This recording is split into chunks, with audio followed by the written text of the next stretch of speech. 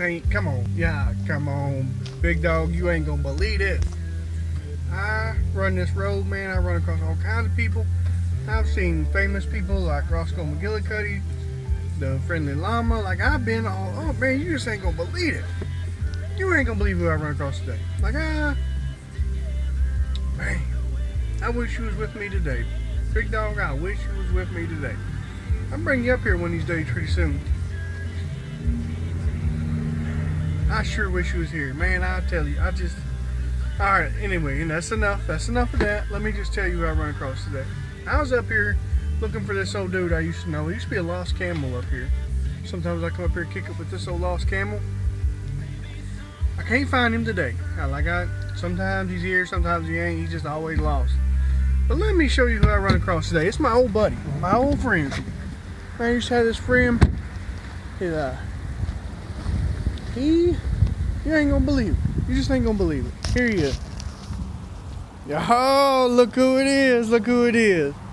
Mr. Burrows. What we got here? Hey, hey, what's going on, man? What's going on? Oh, yeah, you had a rough day still? No, it's a good day. Got your water bottle and stuff? Yeah, all right, all right. Well, how you been? How's the camel? No kidding, no kidding. He, he left about three, four days ago. You figure he'd be back pretty soon? Well, I stopped back in, See, where's your gun at? You sold it for camel food? You had to feed the camel, you had to sell it? No kidding. Well, if I had a few dollars, I'd leave it for you, but I'm broke today. Anyway, I just want to see if you give a shout out to my main man, Mr. Burrows. What's up, Mr. B? Anyway, this is my boy.